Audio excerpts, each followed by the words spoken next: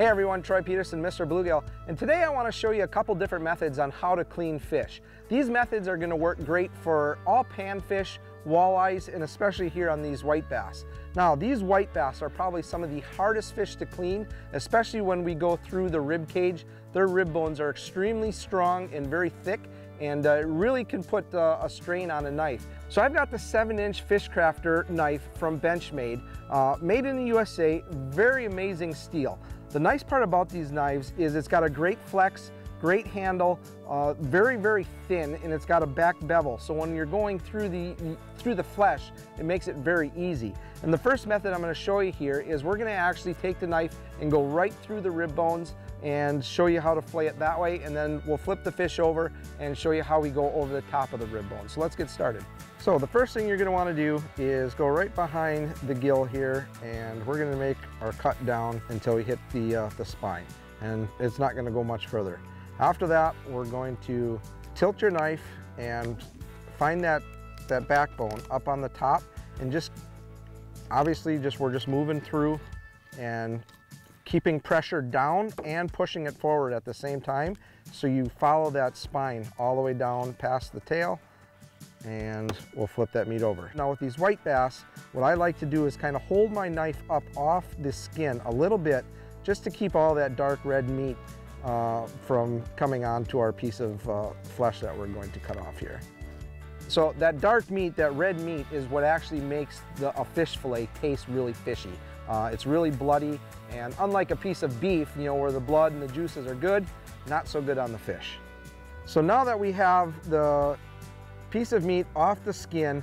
Uh, what we're gonna do is on a white bass, you can see there's their lateral line, and all I'm gonna do is cut right above that, and we're just gonna loin, take the back strap off, and that is the piece of meat that we're going to eat. The rest of this is basically belly meat and rib bones. You've got this one little piece of meat right here off the back. If you really wanted to, you could cut that off and trim that up, uh, but by the time you're done, there's such little meat there uh, that we just we feed it to the birds. So we're gonna flip this over to the other side. Uh, so now this method works really good when the dorsal fin is facing towards you. We're actually going to go over the top of the rib bones and this is the method I prefer to use when I'm using a standard fillet knife. We're gonna make the same cut behind the gill plate and then we're gonna very carefully uh, insert the tip of the knife and just follow that backbone down till you get past uh, kind of right where their anus is. We're gonna poke through keeping pressure down and again sliding it forward to a little bit behind the tail and we're going to leave just a little bit of a flap there so we can have something to fold that on. The nice part about having a nice sharp knife is it makes very easy work to just slice through that, that flesh over the top of the rib cage.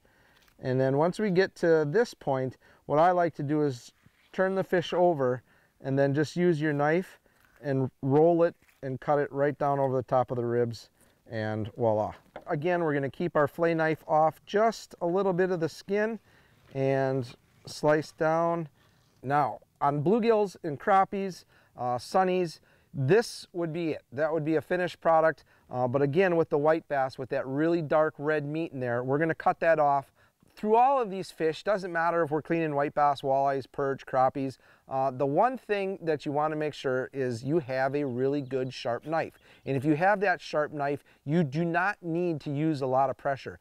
The more pressure you use, the more apt you are to have an accident, uh, and you're probably going to draw a little bit of blood on yourself. So having a very, very sharp knife makes things a lot easier. Uh, it's a lot more efficient, a lot quicker. It makes it a lot safer and also allows you to get more meat off of each fish. So the techniques I've shown you here today will work great for any of the panfish, whether it be uh, bluegills, crappies, perch, these white bass, walleye. Another fish that we got swimming around in North America are the trout and salmon. And I'm gonna send you over to Dumper Dan Charters in Sheboygan, Wisconsin, and he's gonna demonstrate how they clean the trout and salmon with a Benchmade knife. Okay, here uh, we're gonna process some of the fish from off the lake, Lake Michigan. And uh, these are caught by Dumper Dan and his crew. Uh, for processing these fish, I'm using a nine inch Fishcrafter from Benchmade. Uh, cutting up by the head, and then I'm gonna run my knife down along the back then I'm gonna come back, clean up a little bit, and then go over the ribs, Just like that, make sure they look nice. And then you go to the other side and do the same thing. If you notice, I'm just not just using the tip of the knife, but I'm using the whole blade. Uh, by using the whole length of the knife, you get more life out of the edge. And the Benchmade knives, they have lifetime guaranteed sharpening. All right, the next fish we're gonna do is we're gonna cut it out and then we're gonna chunk it into pieces for smoking or grilling. So usually I cut the head off, slice it open, pull this out, take my spoon knife,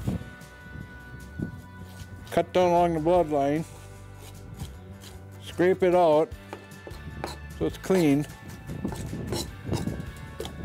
And that's it for that. And then uh, chunking it if you want. You can one, two, yeah, we'll do three, four.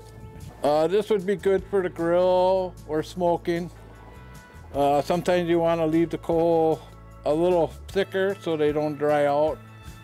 And uh, you can do them however you like.